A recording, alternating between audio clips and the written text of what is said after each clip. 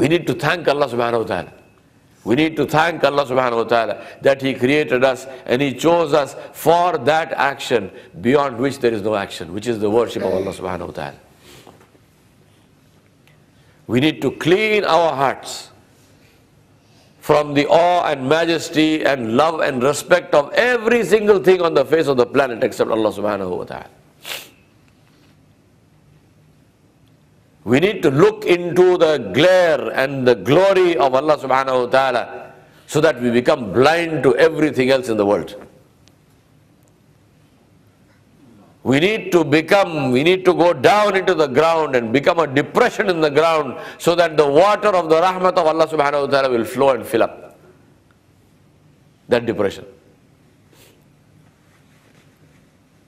My brothers and sisters, I remind myself and you, Allah subhanahu wa ta'ala sent this kalam for a purpose. The purpose of the kalam was not its recitation. The purpose of the kalam was not to re-recite it and to enjoy the recitation or to, to read it for thawab. That's not the purpose. These are all fringe benefits, alhamdulillah. The purpose of the kalam was for us to reflect on it and for us to implement it in our lives. أَفَلَا يَتَدْبَرُونَ al-Qur'ana عَلَى ala أَقْفَالُهَا. Allah subhanahu wa ta'ala said, do they not reflect on the Qur'an? Or is it that their hearts are sealed and they have kufr on them, locks on them? I remind myself and you, we come back to the beginning where we began. Allah subhanahu wa ta'ala took his Nabi sallallahu alayhi wa on the journey of Isra al-Miraj and connected him to himself. When the Nabi sallallahu life was full of difficulty and full of trial and tribulation and full of sadness and depression, Allah subhanahu wa ta'ala connected his Nabi to him. So everything vanishes. Everything vanishes. I ask Allah subhanahu wa ta'ala to give you and me that ability that when we stand in salah, we say Allahu Akbar, everything falls away from our shoulders. All the troubles and difficulties of the dunya fall away from the shoulders. The entire dunya disappears and vanishes and we are connected with our Rabb. I ask Allah subhanahu wa ta'ala to connect us with Him because only He can make that connection. We can only present ourselves, we cannot connect. We cannot connect. We ask Allah subhanahu wa ta'ala, we put our ihtiyaj, we put our helplessness before Allah subhanahu wa ta'ala and we say, Ya Rab, even to stand before you is tawfiq that you have given. Where on earth, who on earth gave you people the tawfiq? To come from 10 countries, 11 countries to this place here to stand in tahajjud? Who called you here? Why did you come? For what? Ask yourself. To do what? If you came to learn the tricks of the trade of business from me, then fall in sajda now and make tawbah. Fall in sajda now and make tawbah. But if you came here to connect with your Rabb, then know that Allah subhanahu wa ta'ala sent you. You did not come. Allah subhanahu wa ta'ala sent you. The door was open. You could have had 50,000 people. But alhamdulillah, we have the people who Allah subhanahu wa ta'ala wanted to collect. We thank Allah subhanahu wa ta'ala because He said, وَلَئِن شَكَرْتُمْ لَأَزِدَنَّكُمْ We thank Allah subhanahu wa ta'ala. and we ask Allah subhanahu wa ta'ala, we say, Oh Allah, you brought us here. Oh Allah, you woke us up in the night. Oh Allah, you put it into our hearts to stand here before you. Oh Allah, you made it possible for us to concentrate on you and to stand before you and to recite your kalam and to hear your kalam and listen to your kalam. Oh Allah, connect us with yourself. We ask for nothing more than this because nothing more is needed after that. We ask Allah, oh Allah, connect yours, connect us with yourself. Oh Allah, you do not need us. But Allah use us because in that there is benefit for us. Oh Allah, we are less than a dirty piece of cloth. But a dirty piece of cloth is also good to have if you want to wipe off the filth of shirk and kufr from the, from the face of the earth. So Allah use us because you know, not because you need us, because, because we need you. We need to be used by you so that we become valuable and our lives become valuable. Ask Allah subhanahu wa ta'ala to accept your coming here. I ask Allah subhanahu wa ta'ala to make your difficulties easy. I ask Allah subhanahu wa ta'ala to wipe out all your difficulties, all that I know about and all that I don't know about. I ask Allah subhanahu wa ta'ala to cover you in His mercy and in His grace. I ask Allah subhanahu wa ta'ala to open your hearts to His nur and to fill your lives with His nur. From this day forward, I ask Allah subhanahu wa ta'ala to guard your eyes and your ears and your tongues and your hands and your feet that they never disobey Allah Jalla wa ala.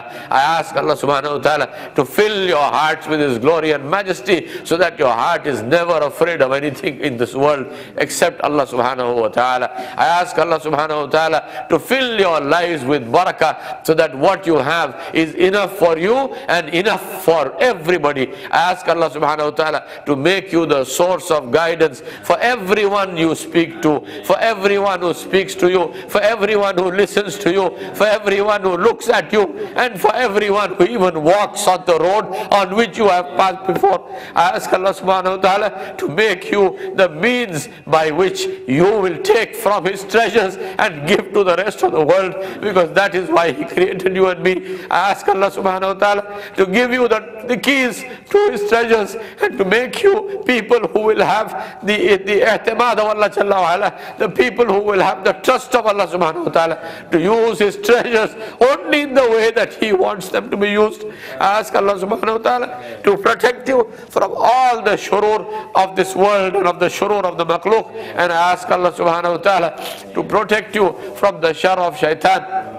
Ar-Rajim. I ask Allah subhanahu wa ta'ala to open your hearts to His kalam, to open your hearts to the message of His Habib Muhammad Mustafa sallallahu alayhi wa sallam. I ask Allah subhanahu wa ta'ala to make your lives a complete Uh, imitation of his Nabi sallallahu alayhi wasallam's life. I ask Allah subhanahu wa ta'ala to make you standard bearers of Islam like the Sahaba of Rasulullah sallallahu alayhi wasallam were standard bearers of Islam.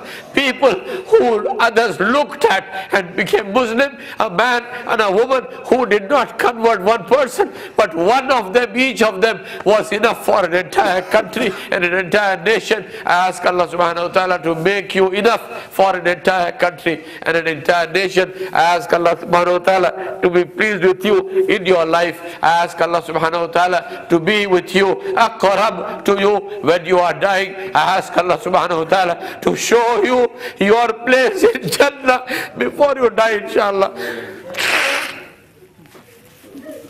I ask Allah subhanahu wa ta'ala that it is His tawfiq that He gives these words to make His dua. And I ask Allah subhanahu wa ta'ala, oh Allah, it is not your shan, it is not your shan that you give the tawfiq for a dua to be made and then you don't accept the dua. Oh Allah, I ask you, in the name of your glory, in the name of your majesty,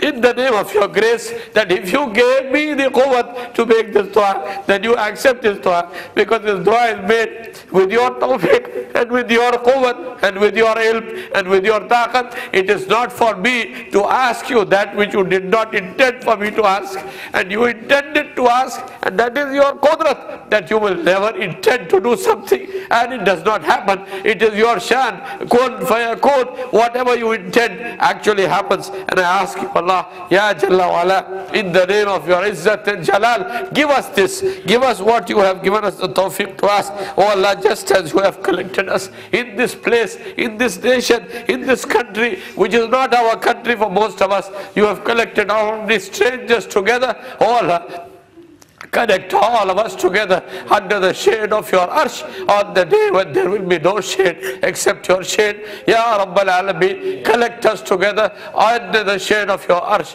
on the day when there will be no shade except your shade. Oh Allah, collect us together behind your Habib Muhammad Mustafa sallallahu alayhi wasallam on his house. Oh Allah, give us the, the honor of drinking the, the, the water of his house from his blessed hand. Oh Allah, give us the honor of following him across the Sirat with the speed of lightning. Oh Allah, give us the honor of entering Al Jannatul Firdausul A'la بغير حساب behind your Nabi Muhammad sallallahu alayhi wa sallam wa sallallahu ala Nabi al-Kareem wa ala alihi wa ashabihi ajma'in برحمتك يا أرحم الراحمين والحمد لله رب العالمين